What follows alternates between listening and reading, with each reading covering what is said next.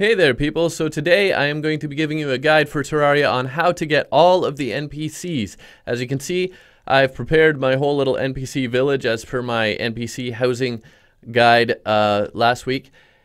And so I'm going to be going through the list of every NPC in the game and also the move-in requirements to get them. So first of all, I am going to put this 50 silver in my uh, money because that is going to be a requirement for one of them. I'll get to that in a second. So uh, the first NPC you're going to get is, of course, the guide who spawns in the game with you. Um, he, of course, gives you advice on crafting and uh, supplies and tips and that kind of stuff. So that's the guide. The second one that you're going to get is going to be the merchant, and that's why I just put the 50 silver. I've been storing up um, some of the requirements, some of the stuff I need to spawn the NPCs in some of these chests. And uh, as much as possible, I'm going to try to show you um, me actually meeting the requirements and spawning these NPCs uh, in real time. I'm probably not going to be able to do that for all of them because there are time constraints, but uh, how it works is that once you meet the requirements, it takes about two minutes for the NPC to spawn, and that's uh, they'll only spawn one at a time. So if you're spawning more than one, it's going to be two minutes in between. Uh, that's two minutes of real time, which is uh, two hours of game time. You can see I've got the clock over here to show me the game time. I'm using a platinum watch, so I have uh, the exact time. Um, so the merchant, you need 50 silver, and that's among all the players. If you're playing in multiplayer, uh, it will. Um, yeah, see there we go. So I've got Finn the merchant has just arrived. Uh, so it's 50 silver among all the players in the game. So if you're playing multiplayer, you can have a combined 50 silver in total uh, to get that. Um, so there's our merchant, and uh, next one is going to be the merchant. Of course, will sell you basic supplies. Uh, he's a shop. You just go talk to him, hit shop, and uh, he'll sell you some of the basic supplies, and you can sell stuff back to him that you don't need anymore. Next one I'm going to get is the uh, nurse, and so the nurse you need at least one player in the game. Of course, if you're single player, that's you. Um, to have more than 100 health, which means you need to find one of those uh, heart crystals underground, a life crystal, and you need to mine that and use it. So another two minutes, and I will have the nurse spawn in here as well. Uh, another thing worth noting that they will um, use whatever house is available. So if you have a village like this, they'll use these houses, but they'll also use underground houses. Like uh, I've got a couple houses under a couple of trees, um, so they will use those if you have a light source in them because they come with furniture and all that. But they do need a light source. Again, requirements for the houses. I covered that in my episode last week. Uh, they'll also use those houses up on the Sky Islands um, if you put a light source in one of those because again they meet all the other requirements. Uh, for, they will not, however, use those underground houses that you find when you're mining underground. Um, but that's good to know. So the nurse uh, will heal you when um, you go and talk to her. She'll give you the option to heal for a certain amount of money. That will also remove any debuffs that may have been applied. And uh, so that's what the nurse is for. She should be showing up sh shortly. And uh, I'm going to just cut past that uh, afterwards to show you the next one. And there she is. the nurse is showing up. And you notice they will spawn generally just off the edge of the screen. Um, assuming that they do in fact spawn to your actual village. Again, I'm actually going to go and wreck up those other houses to make sure that they don't spawn underground so we can actually see them spawning in the village. But they'll generally spawn right off the edge of the screen. And another thing you can notice here is that when you have at least three, you will no longer have enemies spawn in that village area. So uh, next one we're going to do is the Demolitionist. So uh, Nurse and Demolitionist actually, in addition to uh, you need the Life Crystal uh, over 100 health to get the Nurse, you also need the Merchant to be present first. So you're going to need to get that Merchant, the 50 silver, get the Merchant to spawn, and then you can spawn the Nurse, and the Demolitionist counts the same way. Uh, you will need the merchant present first, and then you just need an explosive in your inventory. The grenades will work, bombs will work, dynamite will work, um, among a few other things. So another couple minutes, we'll have him. In the meantime, I'm going to go uh, make sure that he's going to spawn here. And here we are, the Demolitionist has just spawned just off the edge of the screen here. He will, of course, sell you explosives and uh, similar equipment. Again, you just talk to him, use the shop, Um, and the next one that I'm going to do is actually going to be the dye trader. So to get the dye trader, um, you will need one of two possible uh, options actually. So one is that you defeat uh, one of the bosses, which is um, either the Eye of Cthulhu, the Eater of Worlds, the Brain of Cthulhu, or Skeletron, any one of those bosses, and have one dye crafting material. Other option is just to find one strange plant. So uh, this happens to be a strange plant. They're not always purple, but uh, that is one type of strange plant. There are various types. Um, so one strange plant, and he will spawn as well. Another thing worth noting, of course, uh, as long as you're not on mobile, actually, for some reason you don't have access to this on mobile, but if you're on any of the other platforms, you have a housing menu and you can assign where you want them all to be. Um, so you can see I have a whole bunch of houses ready for all these guys, uh, but they've just chosen them at random. I can reassign them if I want to. And again, it takes two minutes in between spawning each uh, NPC. They will also only spawn during daytime hours. They will not spawn at night. Uh, but if you meet the requirements, they will spawn uh, early in the morning. I think it is actually two minutes after morning begins that they will begin to spawn as well. Um, there's the funny quack. All right, so uh, yeah, the dye trader will show up in a minute, and we'll just cut to that. And there he is. Dye Trader has arrived, and he just showed up off the edge of the screen. The Dye Trader will sell you the dye vat, which you can use to craft dyes from uh, dye making things. Like, uh, for instance, there are a lot of uh, flowers. I think I've got a thought I had a yellow marigold here somewhere. But anyway, um, oh yeah, it's in my inventory already. So yeah, there are various um, flowers and beetle husks and things you can use to make dyes. You buy the dye vat and you can turn those into dyes. He will also give you rewards. Like I can go and talk to him right now and sell him this strange plant. Actually, he'll give me the reward is a dye. and there you go. That's the uh, the dye trader. So uh, I'm gonna do the two next ones are gonna be the Dryad, and the Angler. Uh, the Angler I actually have to go find. He'll be sleeping near the ocean, um, and I think I'm going to go do that first if I have time. Okay, I wasn't sure if this was going to work, but here we are. Um, I have found the Angler, actually. He's right there, he's sleeping on the surface, and that is how you will find him. It is nighttime, so he will spawn at night, apparently.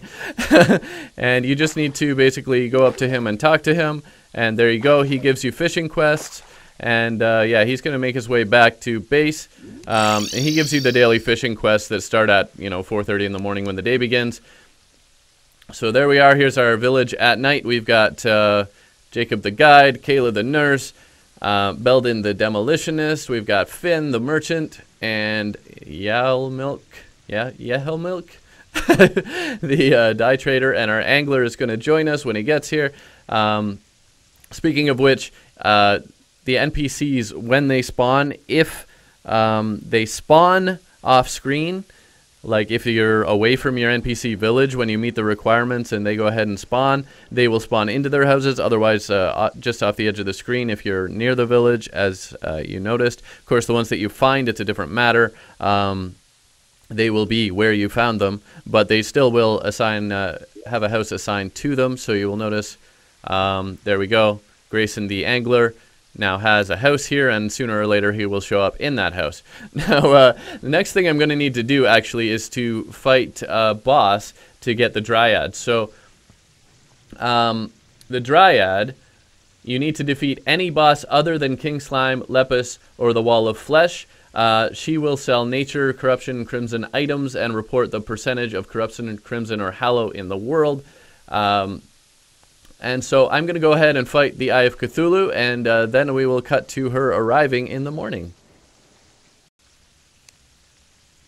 Okay, and there we are. Elysia the Dryad has shown up. She just spawned off the edge of the screen, so sure enough, I defeated the Eye of Cthulhu. That's the easiest one. Uh, but really, any boss, again, other than King Slime, Lepus, or the Wall of Flesh, and the Dryad will come. Uh, she sells the nature-themed stuff and tells you about and sells Crimson Corruption stuff.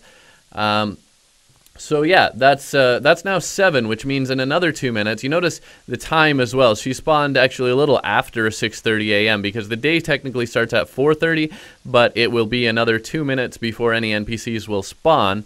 Uh, and then uh, I guess there's a little randomness there as well because it was a little after 6:30 a.m. that she spawned. Now you notice um, when we add these up, we've got seven. And if we've got seven, that's enough for the painter to spawn. So he should be spawning, um, I guess, a little after 8.30, around 9 maybe. Uh, we should be getting the painter as well. I'll just cut to that. And there we are. Guido the painter has arrived just after 8.30 as predicted. So uh, sure enough, about two minutes in between. And uh, on this rainy day in my NPC village, we now have eight of the NPCs. We're going to keep going. Um, the rest are going to be a little bit more complicated. Now, as far as the painter, he will sell you, uh, of course, paint, painting supplies, and paintings. So uh, he'll sell you all of those. You need, uh, as implied there, you need at least seven other NPCs present. Only the town NPCs who will live in, in the houses and uh, also, the traveling merchant will actually count to that. So if you're lucky, you can get them with six, and uh, the traveling merchant will show up actually anytime after you have at least. Um, yeah, I think it's three. oh no, actually two. Once you have two town NPCs present, which uh, you know the guide and one other one presumably. Um, Traveling Merchant has a 22% chance of showing up each morning after that point, and uh, we'll show him whenever it is that he does show up. In the meantime, I've got some things to do to get the other ones, so I'm going to show you those when I find them or when I spawn them, and then I'll tell you about the conditions that I had to meet to do it. Okay, so I've made my way down to the corruption, and I was looking for exactly what you can see down here, a shadow orb. A crimson heart will also work. Um, you're going to want to smash one of these probably because, uh, well, for one thing, you're going to need it later for the Goblin Tinkerer because to get the Goblin Tinkerer, you need to defeat a Goblin Army, and Goblin Armies only come after you smash one of these, or a Crimson Heart. Um, but this is also an easy way to get a gun, and you're going to need either a gun or a uh, or some bullets um, either a gun that uses bullets or just some bullets in your inventory. That's the requirement to get the arms dealer. So uh, I will now warp back to my base. Uh, but there you go. I've got I've got a ton of stuff in my inventory, but uh, you need either a gun that fires bullets or some bullets. And that's the requirement for your arms dealer. Now, your arms dealer will not show up if you get flares. Flares do not count. Has to be a gun firing uh, bullets or bullets for such a gun. So my arms dealer should be showing up now shortly. There we are, right on time. Trayvon the arms dealer has shown up. Joined the village. So uh, there's that, and I'm also going to uh, get a goblin army at some point. There's a random chance of getting a goblin army, but I need to defeat a goblin army in order to get the goblin tinkerer and then I need to find him, but uh, we'll get to that. The arms dealer will sell, of course, guns and uh, gun parts and bullets for guns. Um, it's pretty basic stuff, but the mini shark, of course, is very important early in the game, so you're going to want to get him early, as I did, and uh, we'll move on to whoever's next. Okay, so at this point, I've made my way to the dungeon where you will meet the old man, and the old man is uh, not a village uh, character, a village NPC yet, uh, what you need to do is at night you will talk to the old man. He spawns at the dungeon at the beginning of the world. When you talk to him, if you curse him at night, he will transform into Skeletron. And once you defeat Skeletron, the old man actually turns into the Clothier NPC, who will sell you vanity clothing and items, and he'll uh, move in the next day after you defeat Skeletron, because Skeletron you have to defeat at night after 7.30. So I'm going to do that, and that will also unlock the uh, ability to unlock one other NPC, which is the mechanic who you will then find in the dungeon. So I will show you those both. And as promised, here's Lloyd the Clothier, no longer a cursed old man in rags at the entrance to the dungeon. I defeated Skeletron, removed the curse, and he's now a productive member of our NPC village, selling vanity, clothing, and items. Now, I do need, still need to uh, find the mechanic. She will be bound up in the dungeon. Very important NPC, actually. My dungeon happens to be huge, so I'll cut to that as soon as I find her. Okay, so I found my mechanic right here. So I've talked to her, and I'm going to get out of here because it's a, still a dangerous place and I don't have that good of equipment. But yes, as you can see, the mechanic is bound in the dungeon, and you will find that she will sell you some really important equipment like wires, wrenches, wire cutters, uh, the mechanical lens, all stuff that will be really helpful in terms of crafting mechanisms as well as uh, viewing and dealing with traps in the game.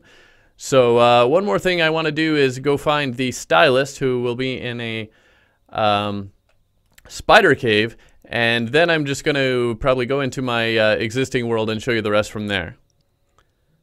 Okay, and here we are in a big spider nest. And uh, strangely enough, maybe you can see here, but we've got the stylist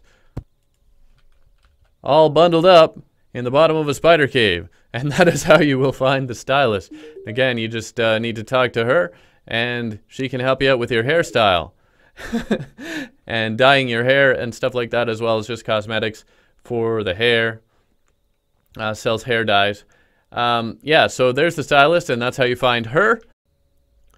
Okay, so here we're back in the world that you may be more familiar with from my other videos. Um, and I almost forgot to mention that the lifeform analyzer that you get from the traveling merchant, uh, again, the traveling merchant has a rotating random selection of items. He has a 22% chance of showing up each morning. So I wasn't lucky enough to get him in the uh, the new world there yet. Uh, so I'm not actually going to show you him, but uh, you've seen him probably in my other videos, and uh, and you get the idea. He's a guy with a blue hat with a little feather in it, and he uh, it's actually different names. So technically, you could say there are different traveling merchants, but he'll have a random selection when he shows up. He'll show up randomly in the morning between 4:30 and 12 a.m. Uh, well, 12 becomes PM, but uh, once at least two town NPCs are present, he's a random selection of items. And if you're lucky enough to get the Lifeform Analyzer, you can use that to help you find uh, characters that need to be found in the world. Most of them will show up on the Lifeform Analyzer, including the Mechanic, the uh, Stylist, the Goblin Tinkerer, and the one I'm about to tell you uh, about right now, which actually is PC only for the time being, with the 1.3 update coming to uh, Xbox One, PS4 soon, and so on. Uh, that's the Tavern Keep.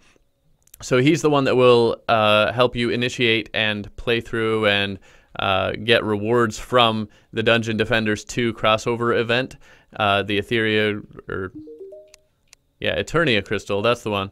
and uh, you will find him in the world after you've defeated either the Eater of Worlds or the Brain of Cthulhu. He'll basically be sleeping on the ground and you'll need to wake him up. Again, he will show up on that life form analyzer as well. Um, now, one that I've mentioned a lot is the Goblin Tinkerer. He's over here.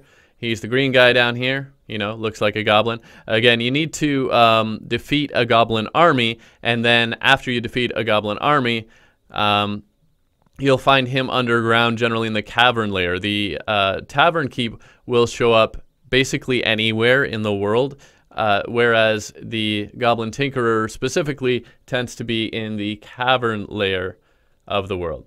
Both of them will show up on the Lifeform Analyzer if you have it. Goblin Tinkerer here, he sells you items such as the ruler so that you can measure when you're building. He also sells the ever useful Tinkerer's Workshop, which is very, very handy to combine your uh, accessories into uh, more powerful versions that only take up one slot instead of you know however many it was that you combined. and uh, so yeah, he is very very useful. He also reforges items for you, so you can uh, take an item that maybe has a not very good prefix, and you can go and reforge it, pay him some money to uh, turn it into hopefully a better one, and you can pay him a lot of money to eventually get exactly the prefix you want. um, so there's actually only two more uh, pre-hard mode NPCs that I still have to show you. Um, I'm going to show you the party girl because she's right over here. The party girl will show up um, when you have enough NPCs. She's kind of meant to be the last one before you go into hard mode. Um, if you're not on PC, if you don't have the 1.3 update, again, this will probably change for the other platforms soon, but uh, you'll just need eight NPCs, so we passed that threshold quite a while ago. if you're on uh, PC, the 1.3 update, other platforms, presumably once that takes effect, uh, it's actually 13 NPCs present. And then it's actually after you have the whichever number of NPCs present, it's a 1 in 40 chance each day that she'll actually show up. So that's the party girl. She uh, basically sells you festive novelty items and furniture. Um, and of course, you know, that goes along with your NPCs throwing random parties. and uh, so, yeah, you can get your like fireworks and that kind of stuff from her. And uh, yeah, you need to have that threshold. And the, again, the uh, traveling merchant will actually count towards that as well. Okay, so I've now made my way over to the jungle because the other, uh, the last pre-hard mode NPC that you can get uh, before defeating the Wall of Flesh is the Witch Doctor. And I have left him sitting here in a house all alone in the jungle for a very, very long time because uh, actually he will sell some special items if you put him in a house in the jungle and particularly if you uh, talk to him at night. So the witch doctor you get by defeating the queen bee, which again happens in the jungle underground. You'll find the uh, hives there, and you can fight the queen bee. Once you defeat her, um, the witch doctor will show up, and if you have a house available, and then uh, again, if you put him in a house in the jungle, he'll give you some extra items. But basically, he sells uh, things including the imbuing station, so you can make flasks for your melee weapons, and he also sells summoner-related equipment like the uh, I think Tiki staff or something. Anyway, um, yeah, he'll he'll give you a lot of stuff that's very useful if you're playing as a summoner, and he'll give you other stuff as well. As you can see, uh, you know, a bunch of stuff here: blowgun, imbuing station, bewitching table, so you can have more minions, uh, vial of venom, leaf wings. If you're once you're in uh, hard mode, you can get those from him at night in the jungle only, which is why he's here. So let's go back to uh, main base, and I'll tell you about some other people. Okay, so actually I've made my way to uh, the house by the ocean on the far end of the world because I forgot that I left Magius the Wizard way over here. I didn't build enough houses in this world uh, at the actual village. And uh, yeah, Magius the Wizard is actually the first guy that you're probably going to get, easiest guy to get once you're in hard mode after you've defeated the Wall of Flesh. Because again, he's just one that you're going to find um, sitting underground basically. You'll find him uh, bound up in the cavern layer, much like the Goblin Tinkerer, uh, but only after you've defeated the Wall of Flesh. And he, of course, sells various magic related items, such as the Crystal Ball, which is a particularly useful one if you're playing as a mage. Now let's make our way back to the main base again and I'll talk to you about a few more. So the other one that's pretty easy to get, um, actually there's a couple that are pretty easy to get once you just get into hard mode. The Tax Collector, again, this one actually is PC only for now. It's 1.3 update onward. Uh, again, will be coming to other platforms. But basically you'll see there are these... Um, lost, uh, sorry, tortured souls in the underworld. And so you can actually theoretically get this like right after you defeat the wall of flesh. If you happen to have some purification powder on hand, you'll see these tortured souls start appearing um, in the underworld, aka hell. And uh, they'll be wandering around. They look kind of like this guy, um, except a little more dead or something like that, or undead, if you will and you just throw some purification powder on one of them, and he'll become the tax collector, and he'll move into your village, and basically he will just uh, get you some money for each, each NPC that you have, and you can talk to him every once in a while, like this, and say collect, and you get a little cash because he literally collects um, taxes, so-called, from the NPCs. He basically collects a certain amount of money over time, and uh, you can come and collect it every so often. Another one that's actually relatively easy to get uh, right near the beginning of hard mode is the truffle, actually. Um, you need to create a surface mushroom biome, which, again, I have a whole video on doing that, creating the, the biome and uh, getting the truffle NPC specifically. But um, this is the truffle. Mine's named Portini, And uh, you basically just need a big enough space of mud plant it with some mushroom grass seeds, which you'll get from uh, harvesting mushrooms in an underground mushroom biome. It's got to be above zero elevation, again, surface, and you have to have a house in that area, and then you'll get your truffle NPC. Now, he gives you a bunch of interesting stuff. Um, and there are certain things that are released in his shop as you get a little further and get a little further in the game, particularly the Mushroom Spear. Um, I think you have to defeat a mechanical boss to get that, but that's a pretty powerful weapon fairly early in hard mode. And also later, it's very important uh, if you want to get any of the. Um, if you want to get any of the Shroomite equipment, um, the Shroomite armor set, which is for ranged players, uh, gun toters, and arrow users and rocket firers, the Shroomite set or the uh, hoverboard or the Shroomite, Shroomite digging claw, you need to buy the auto hammer from him, which you can only get after, uh, I believe, after defeating Plantera. So, moving right along, uh, probably the next one you're likely to get is the pirate, which you get from defeating a pirate invasion. So, uh, it's basically the pirate captain. He literally looks like the pirate captain during the invasion, but once you defeat a pirate invasion, he'll move into a house if you have a house free, and uh, he'll bas- basically be on your team. He sells you um, a cannon, which is can be very useful, and other pirate themed stuff. And then after that, or around that time, um, again, speaking of defeating bosses, once you defeat one of the mechanical bosses, that's either uh, the Destroyer, the Twins, or Skeletron Prime, that's when you get the Steampunker. And the Steampunker, again, very, very useful, kind of like almost an evolved version of the mechanic. She's the one that will sell you the teleporter, particularly, uh, conveyor belts. You can get the steampunk wings. So very useful stuff there. Uh, I'm just going to cut for a second because I have a solar eclipse happening. Okay, can you believe I had two solar eclipses and then a blood moon all in a row? But anyway, we have just three NPCs left to talk about. First of all, over here I have my friend, the cyborg. He will appear once you've defeated Plantera. He'll move into a house if you have one available. And uh, he sells rockets uh, grenade launcher, nanites, and other high-tech stuff. So uh, there we go. Oh, sorry, proximity mine launcher, which is a lot of fun, of course. You can time those. And nanites will inflict confusion on your enemies. And high-tech vanity sunglasses. Anyway, he will move in after you have defeated Plantera. That's the uh, last boss that's really going to um, bring an NPC into the game for you. Uh, another one that we haven't talked about actually is the Skeleton Merchant. He is not a town NPC. He will not move into a house, but you can find him sort of like the Traveling Merchant, except that you find him underground uh, randomly in the cavern layer. He's actually very rare, so I'm not going to show you that one. But the skeleton merchant uh, will sell you yo-yo and mining accessories, basically.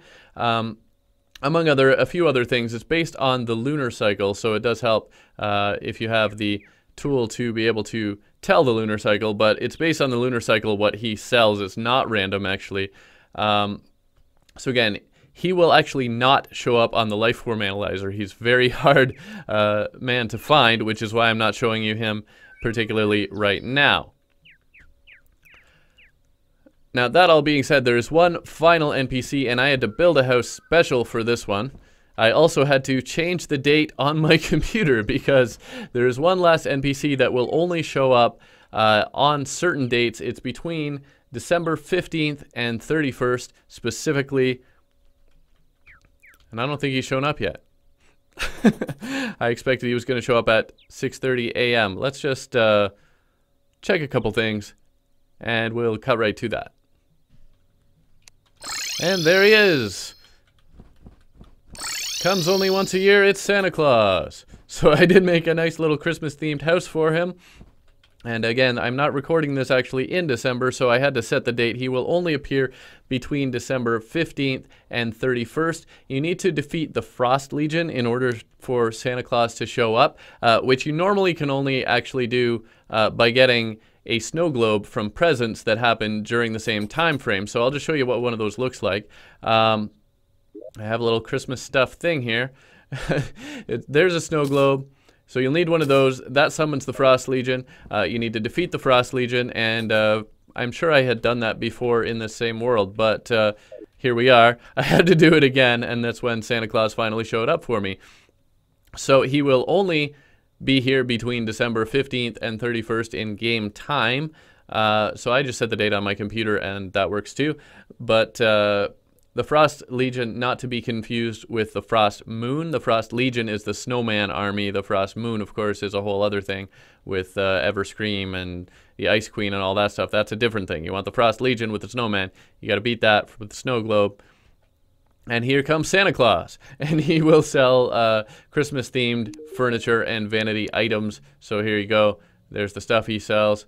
And uh, yeah, that's all of them. So uh, I believe that's uh, that's actually every NPC in the game. And I hope you enjoyed. Hope you liked the video. Hope you found it useful. Uh, thanks for watching. Please subscribe if you haven't already. And I will see you next time. Bye for now.